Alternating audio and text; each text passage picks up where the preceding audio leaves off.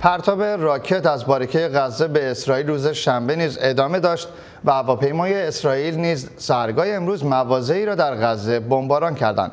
این بمباران ها در پاسخ به حمله راکتی روز دوشنبه به خاک اسرائیل انجام شد. در آن حمله یک راکت پرتاب شده از باریکه غزه خانه ای را در شمال تل تخریب کرد و موجب زخمی شدن هفت نفر شد. هوشمند میرفخرایی و جزئیات بیشتر. هواپیماهای نیروی هوایی اسرائیل روز سهشنبه نیز مناطقی در سراسر باریکه غزه را بمباران کردند.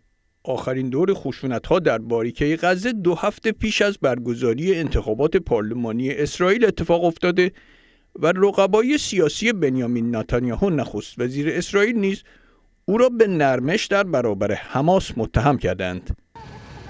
در بمباران دوشنبه شب مجتمعی مسکونی در شهر غزه هدف قرار گرفت. پنج خانواده در اینجا زندگی می‌کردن که آواره شدن. من و زن و بچه هم خونه و زندگیمون رو کاملا از دست دادیم. غیر از خدا هیچ کس رو نداریم و خودش انتقام این بیعدالتی رو می‌گیره. نیروی هوایی اسرائیل به منظور به حداقل رساندن تلفات انسانی پیش از هر مأموریت به ساکنان مناطقی که هدف قرار خواهند گرفت خبر می‌دهد.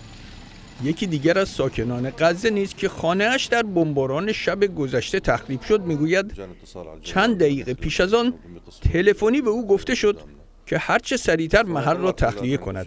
ارتش اسرائیل می‌گوید راکت پرتاب شده از باریکه غزه در بامداد روز دوشنبه با طی مسافت 120 کیلومتر به منطقه‌ای در شمال تلاویو اصابت کرده که بر اثر آن هفت نفر از جمله دو کودک زخمی شدند. اول صدای آژیر شنیدم. بلا فاصله به طرف پناهگاه دویدم و بعد از یکی دو دقیقه صدای انفجار مهیبی بلند شد. از پناهگاه که بیرون آمدم حال پر از دود بود و برخی از قسمت‌های خانه تخریب شده بود.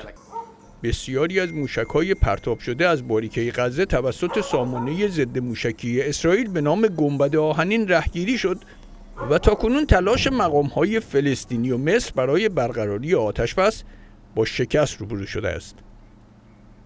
هوشمند میرفخر رئیس صدای آمریکا.